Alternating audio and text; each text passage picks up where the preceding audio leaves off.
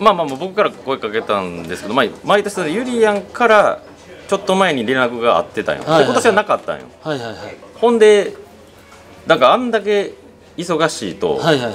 声かけづらいやろ。そのネタ合わせの時間取ってくれっていうのも言いにくない？ああであの忙しくない僕を選んだってことですか？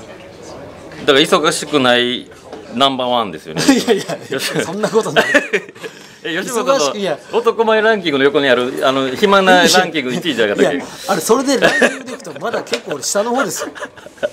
まだ下の方ですよ。おばすか？なんすかいやそのランキング。1位やから声かけっていう。やめてください。それで選ばないで。よくそれで行こうと思いました。いやでまあまあ、はい。木木も近いんで、はいはいはい。でも木も使わへんし、ん。まあやりやすいですねこれややってまあ僕一応僕からどうや、はいみたいな僕も本当にやりやすいよいやいやいやもうまあまあタメ口になってくれるぐらい心許してくれてるというね。うん。頑張ろうな。いやいやもう頑張言い慣れてないんやったらやめろその。